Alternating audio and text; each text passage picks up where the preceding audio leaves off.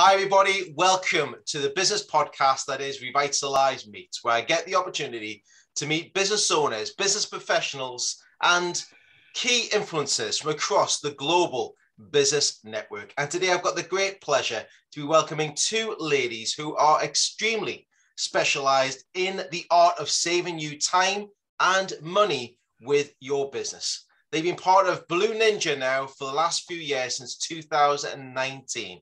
Can you please welcome with us today at the Revitalize Meets podcast, the one, yes, but the onlys. That is Julie Taylor and Louisa Stewart. Louisa, Julie, how are you both doing today? Yeah, good. Thank you. Thanks. Wonderful. Superb. Now, this is live from the Netherlands, if I understand that correctly. Yeah. It is indeed. Would you mind telling everybody who's joined us today to listen and to watch a little bit about your business and also your business journey so far. Well, I'll start. Um, my name is Louisa Stewart, and I am the founder of, of Blue Ninja Consulting, um, which was the UK part of Blue Ninja, which um, I started in 2013 um, due to burnout. So I uh, was working with an NGO and and just wanted a change, and the consulting part of of administration was born for me and uh, wasn't very familiar. Um, there is now a world of virtual administration that you can find, but sort of 10 years ago, um, administration consulting wasn't that popular because there wasn't um, a lot of incentive to bring people on board, but now it's such a popular area. Um, so Blue Ninja um, developed from, from that concept. Um, I moved to Germany in 2015 2015, I believe it was. Um, with Blue Ninja, I worked from Germany and the UK. I was a trailing spouse, as Julie also is. We'll talk about that a little later. Um, and then moved to the Netherlands in, in 2018, where um, the new concept of what Blue Ninja is now was developed. So, uh, very exciting stuff. But um, I uh, found in my business journey that um, I, I found loneliness was a problem. Um, so that was one area that we'll, we'll get into a little bit more as well. Um, and I just found that having that network of people was so important, um, particularly internationally, um, which is fantastic why, why this podcast is so important too, to link and nurture those communities together. Um, just a little bit on what administrators uh, well, the meaning behind Blue Ninja, you know, administrators are like ninjas. We're in the background working efficiently and quietly. And then things just happen. I mean, people don't realize um, how much work goes into administration. They just see the end result, which always looks seamless and wonderful. So, you know, you don't always see a ninja, but you know we've been there. And that's part of the ethos of, of what Julie and I um, have connected uh, with Blue Ninja. And yeah. could you tell me a bit about, especially coming up to Julie now as well, is that could you tell me a little bit how you both met? Because I think that's through a social media platform as well. Yeah. Yeah, definitely. So I moved to the Netherlands in uh, late 2018 as trailing spouse. Um, I came along with my husband's job. Um, so I to, commented on a, lo- a, local Facebook post about someone from Scotland, uh, where I just moved from. Um, Louisa commented on the post because she's also lived in Scotland previously and she invited me out for coffee. So I was thinking, well, daylight, you know, you've got to get out there and meet people. It's a bit strange, I don't know this lady, but we went out and we had a bit of a chat and um, we just clicked. Um, she was looking to expand her business. I hadn't quite decided what I was going to do with myself. Um, I thought about traveling backwards and forwards to Edinburgh um, but didn't really feel like it was embracing my new life in Holland. So we started working together on some client work and realized that we got real complementary skills. Um, business operation, processes, process improvement, stuff we're really passionate about. Um, so the Blue Ninja Business Support Partnership started at the beginning of 2019 uh, with clients that Louisa had, and that was us. We were off on our journey it's funny how much it's the power of social media. Mm. And once you use a couple of little keywords, Scotland, a bit of common ground, a bit mm. of common interest that really starts to gel and dovetail it all together, really. And it's now surprising you're both in the same area of the, of the Netherlands as well. So it's great to see that. How have you adapted now? We've had many things happening over the last 24 months certain things that we don't want to speak about too much about online, right? But in regards to your business, and especially now being a lot remote business, how have you adapted yours in the last 24 months? What's been the biggest changes for you? Oh, biggest changes and biggest challenge really has been keeping um, a pipeline of clients. You know, the ones we started out with were a word of mouth, which was excellent. You know, it was a, it was really appreciated that those people um, supported us and moved forward with us. Um, you know, and we focused all of our time and effort on them but then the work dried up and you know it's a common story right now that people are saying you know they they had these consistent um, client work streams that all disappeared you know within a year. So we had to look around for new clients.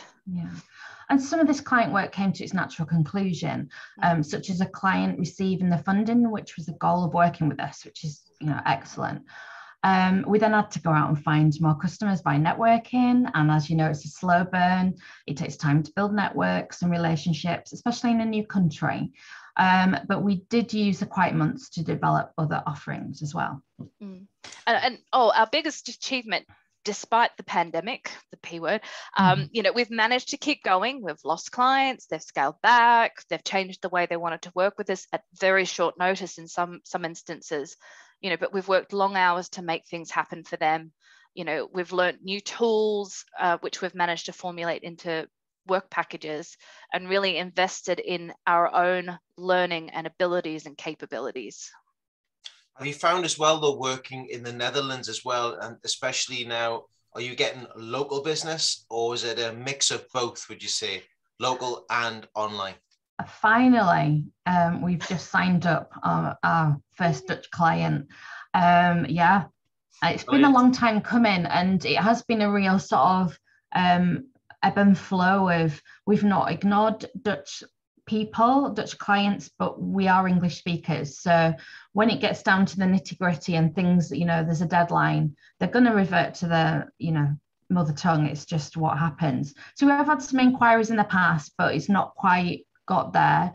Um, and also people getting to know us and, and what we're about. So, but yeah, I mean, we've had some other fab achievements as well. Um, we've been nominated and finalists in four awards um, in both the Netherlands and the UK. Um, great opportunities for exposure and awareness of what a ninja can offer. But last week we won our very first award. Um, that was from Corporate Vision, uh, leading providers of international virtual business support 2021. So I'm really chuffed with that. Yay. Yeah, absolutely superb, and it's great when that comes to fruition because of the work that you've been putting mm. in in the in the the ground upwards, in other words, and, and embracing your local areas. And talking about challenges, talking about achievements, what's been your biggest challenge that you've had to overcome? And has that turned into an achievement for you? Is it that award is, is being part of that, would you say?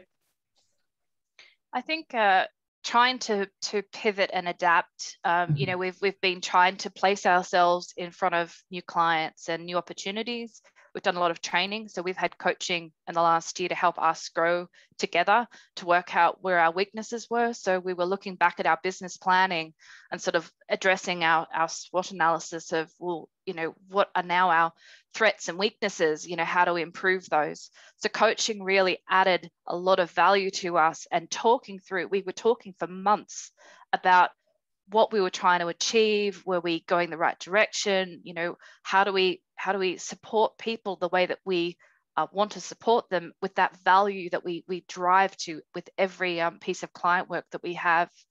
Um, and you know looking for other opportunities as well like passive income you know how do we um, explain what we do to other people um, who who might not become clients? So there's been a lot of development and growth from both of us over the last year. And I think that has been quite successful in terms of, of re-energizing ourselves. You know, we, we did not close down um, because we lost our clients. We've actually re-energized with new client work. So that's been really positive. And I think as well, it's about what you see people should be doing, but they don't always identify it. So we started out as process warriors, and it's just like, oh, process is yuck. It's just like everything's great when it works, but you've got to be so far into your business journey before you take your time out to, to focus on those. Apart from that, you just muddle through and keep going. So it's about turning you know the tables round to what what they want to hear what they is their key pain point rather than what we know is the long term you know foundation will support them going forward thanks for sharing that and before we go on the next part of it what i would like to know is that how long did it take you to develop that message was it maybe over a month? Was it two months? Because you're consistently now delivering a message online about what you do with blue ninja. So how long, just before we get the next question, how long did that take you to develop between the two of you, Julie and Louisa? Oh, I don't know. It's just a sort of ongoing thing. Um, I mean, as Louisa mentioned, you know, we've had some coaching which really helped because we did so many things, and if we don't know it or don't do it, we'll find somebody to help or we'll learn it. So it's that whole we do lots of things. There's not much we don't do, so which doesn't really help. No. So they really helped us to say, right. So what are you going to do for me?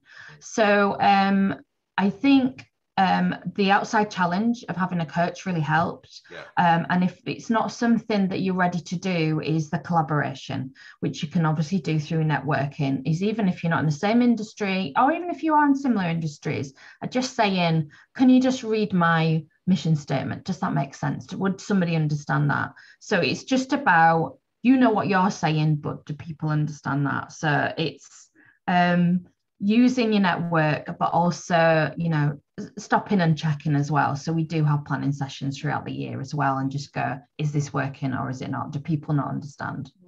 I would say that it took around probably three months to redevelop. Uh, we had the time as well. Um, there was it was a downtime for us, so we really utilized that downtime. Um, but along the way, we met different people. And even, was it about a month or two ago, Julie, we met another person that inspired us for another part of yeah, our business. So, yeah. yeah, so, you know, that was a year after we'd come up with the, with the revised concept. So we've always, we've always agreed that um, growing and changing is not a bad thing in business. You know, you really need to be on mm-hmm. your toes and, and sort of work towards opportunities. Um, we have embraced that together. I think it's it's you know I'm, I'm not sitting at home going oh i don't want to do that. It's like well let's talk through let's let's brainstorm what that means for us. And uh, and it, it really has helped that we've been in line together on what our goals have been. Um, you know it's it's been very fortuitous i think with julie and myself that you know we, we have a long-term strategy that complements each other. So you know in a way that we're not clashing or you know getting frustrated by our direction we're, we're very um, forward together um, and then we we split up sort of what we want to do together. So, you know, Julie's um, very much in the networks and talking to people and engaging. I'm much more into the sort of video editing and the and the software and development side of it. So again, we complement each other and and you know we make sure that we cross over where where needed, but also then we can diverge our skills too to focus on what we really enjoy to understand where both your skill sets lie, but also at the point what you've also done and and testament to you both is that you've educated, educated, and educated everybody mm. in regards to what you do. And it's something I talk about quite a lot is that people know what you know. So when they're talking to other people, they know how to explain it. That's when you know you've delivered your message the right way. When someone can mm. explain what you do, yeah. just like you would do it that's when the penny sort of drops on that. Um, one thing I just want to touch on as well is the is the belt packages. So you know, myself, I do martial art, etc. as well. But it's what are your belt packages? Because we were talking about that previously too today. Would you mind just expanding a little bit what, what the belts are all about? Yeah, I mean, we started out with our ninjas um, we've got ninja skills that we, we've now put into packages. So we've got five ninjas. So we've got project, process, admin, report, and Ninja Me, which is all about USP. But then we realized those skills, if they're put into packages, they're a bit more sort of deliverable and you know what you're going to get out of the process. Louisa, do you want to talk us through the packages? Yeah, sure. so we've got we've got five belts at the moment, and um, this the conversation with the belts came from someone who who loves um, martial arts as well. So he's like, why aren't you utilizing this, this fantastic ninja element? We're like, yes, how do we do that? so we, we quickly worked out how to um, use the belts to explain the business. So we're using white belt, um, which we identify as a discovery call. It's it's sort of a, a, lower level. And please forgive us if the belts are out of order. we, we, we, we went with the color versus the, the correct order. So I, I, am not mm. quite sure if we've got them around the right way, but uh, um, so the discovery call starts you off. It's to get you thinking about um, what your business does in detail and, and both Julie and myself um, have different questions that we like to ask. You know, we're probing for, you know, what's your what's your user journey with your clients, um, what what is your business striving to do, etc. So we have that as our first point of, of entry. And it just helps people who don't really know much about Blue Ninja to get a bit of a sense of working with us without a commitment, essentially. Sure. And also, people just need a little bit of advice or a little bit of focus to then move forward. So that's what our white belt discovery call does.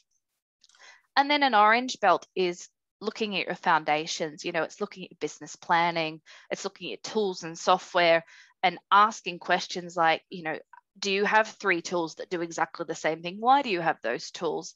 You know are you missing a tool that that would really grow your user journey in a way that you know your information flows seamlessly but often people aren't looking at tools that way whereas julie and i are always looking at at you know new software and how um, people engage with each other through through tools.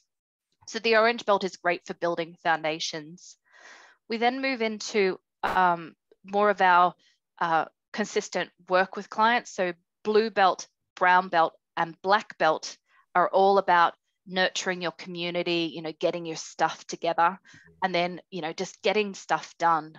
Because um, often with small businesses, particularly, um, they they either procrastinate on points in the business or um, ignore it because it feels too big to solve. So we're trying to look at how to help people get past some of the um, pain points that they have in business, but also streamlining and, and really helping business owners, you know, move forward comfortably and, and you know, with, with confidence.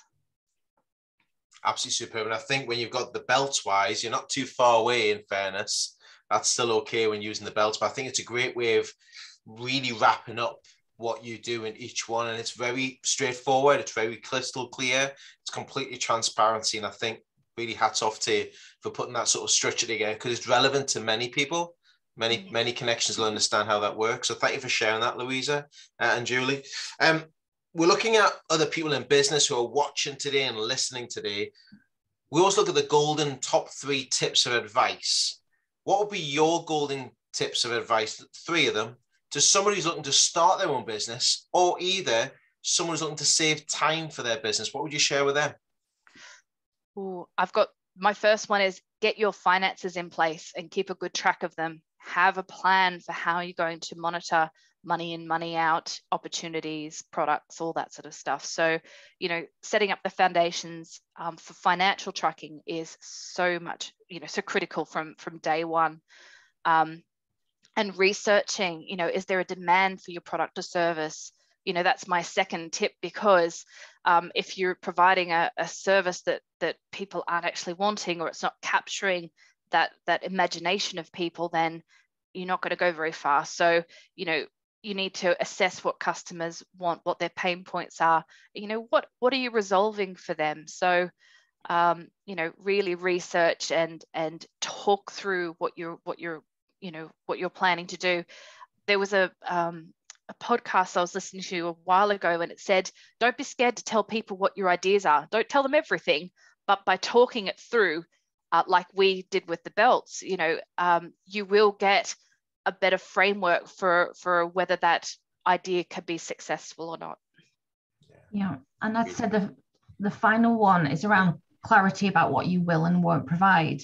This takes time, which is is why um, we went on a journey starting out with process and procedures. Uh, something we know people need, but it does necessarily go searching for in the market. Um, but if you do a SWOT um, and some type of business plan at the beginning of setting up your business, you'd be clear on what your strengths are and what you like to do, but then look at the weaknesses are and what you don't like to do, and just be really clear about what your boundaries are. There's no point saying yes, yes, yes to everything when you're just like, oh, I don't really know how to do that or I hate doing that. It's just like, just be clear on what you will support with and what's really not in your comfort zone or you're not very good at. Yeah, some great pointers there, especially when you look at the SWOT analysis you know your strengths, weaknesses, opportunities, and threats that you want to put into place. And that many people forget about so much of not putting a business plan together. Uh, mm-hmm. of knowing what their first six months or 12 months is going to look like once it starts to mold and shape the ideas that you're really pushing forward because that's the make or break. It's the first the first couple of years when somebody's sort of just starting up. So some great pointers there, and thank you for sharing that, Louise, and thank you, Julie, for sharing that also. Um, we talk about learnings, we talk about self-reflection. I mean, I read a lot of books each week. I go through one and pick up some great gold nuggets, and I go back over some older books that I've read in the past. Um, what's been your sort of learnings over the, the sort of past, maybe the last six months? Has it been from books? Has it been from training? Has it been from other connections. Would you like to share those with everybody who's watching and listening today? Yeah, I mean, for me, it's got to be networking. Um, how else would Louise and I have met? Um, how else would we have met our business coach, our marketing support, even meeting you, Lee? Um, both online, yeah, both online and offline have the benefits. Um, here we've got a, a language challenge, and not all, you know, events are suitable for us. But the opportunities that have come via the pandemic has meant that we've been able to network in the UK and beyond. Um, it's how we met our South African contact, who we've been running monthly Facebook Lives for over a year now. Um, and it's that whole, oh, we're not really competitors. How can we collaborate? And she's like, I'm I'm wanting to do Facebook Lives, but I just don't want to sit the camera and talk to myself. So that's what we do. Every month we've got that commitment. Um, so networking, it takes time and effort, but without it, how are you going to get to know people? How are they going to get to know you? Mm. And what I did at Christmas, what I did at Christmas last year is um, I sat for, we had Julie and I um, purposely closed Blue Ninja for two weeks at Christmas. Um, our clients tend to be um, uh, slowed down anyway. And it's that, that thinking and reflecting time that we really need to have. So we purposely make sure that we we shut down and give ourselves a rest, time off. What I did at Christmas last year was I I sat with a book, went through all the scraps of paper, all the notebooks I had, you know, um, web pages that I'd saved online, all this stuff that had been sitting there for a year and you know almost stressing me out because I never got a chance to go back and look at it. So I sat down and pretty much wrote a full notebook of ideas, thoughts, you know, topics, all of that. And and Julie and I, when we started this year, I'm like, got this notebook. Here are some of my ideas. What do you think? And it just helped us because you know we had a social media plan from it. Um, some infographics have come, designs. You know, there was a lot of stuff that that I was able to capture. I'm I find that I'm not reading books so much now. Um, I, I um, have a, a, list of uh, books that I should be reading, but I'm not. Um, but I'm, I'm learning from others too. So um, often Julie and I will share videos that we've seen, or you'll be looking at online training. Um, you know, we even talk with our clients, and it's like, oh, what is this product? Tell us more about what it does. You know, do you use it to your, you know, maximum effectiveness, etc. So we're really looking at um, live examples as we're working through our year um, on what we can learn, how we can grow, etc. So I think that capturing all of those things that were in my head was the most valuable thing I could have done because it just it started off the year in a in a positive note. And I know Lee that you've had people that talked about journaling before, mm. um, and things like that, writing down. It doesn't always happen fluidly for people and and it's okay that that doesn't happen. So it's finding how it works best for you. And i found you know after i wrote everything down i felt so much better about it. But then you know i've got to do that again the end of this year because i've got so much other stuff to look through. Um, but i think it's finding ways that work for you rather than thinking you must do it a particular way. Um, yeah. It's finding your own comfort zone. But also, here's the thing I say is it's feeling uncomfortable being comfortable. Mm. And I mm. think one other thing, I mean, this, I mean, I, this goes with me everywhere. My, my notebook is with me 24 seven. Um, and if I'm thinking of something, I'll jot it down on my daily, my daily action points for the day.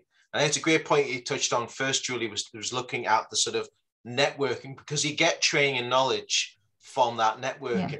I mean, mm-hmm. if you do it consistently and with perseverance, you pick up some great knowledge bits and pieces that you get from other people. Yeah. You know, that that's one of the big ones. And especially when you look at the the self-reflection as well, Louisa, it's like she's taking a step out.